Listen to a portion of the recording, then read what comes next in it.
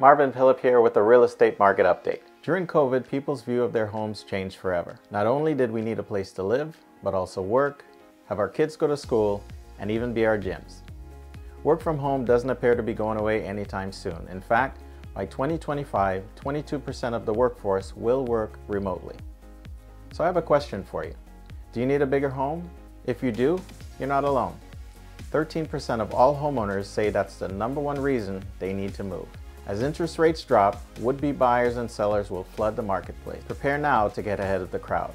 Even though home inventory levels are historically low, there are still great options available on the market. In fact, I just helped two clients find homes in less than 30 days.